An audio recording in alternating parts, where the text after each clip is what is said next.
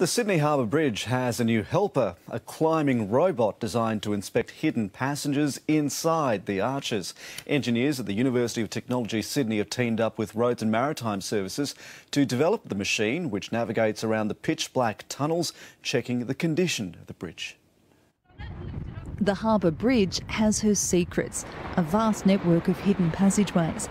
It's the first time this section has been opened in five years. The paintwork dates back to 1932. This robot's designed to get into small spaces and climb around the arches, checking for defects. It's safer, definitely.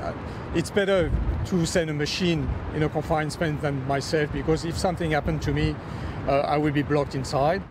High above the road, there are internal tunnels with steep drop offs. There's no room for a stretcher, and small openings every six metres would make a rescue difficult, if not impossible.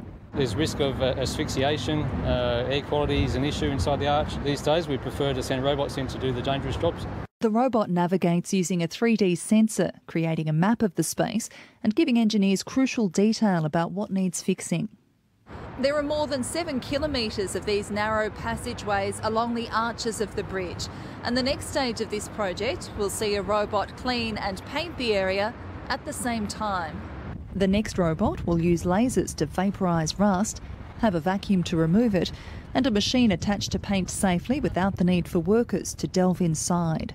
We can see this on other structures uh, like uh, transmission towers in ship hulls, uh, nuclear reactors, so other places where you don't want to send people, uh, it's too difficult to access. The robots won an International Technology Award in Sri Lanka and a Work Safety Prize back home. It's hoped the next version, complete with lasers, will be ready in three years' time. Nicole Chettle, ABC News, Sydney.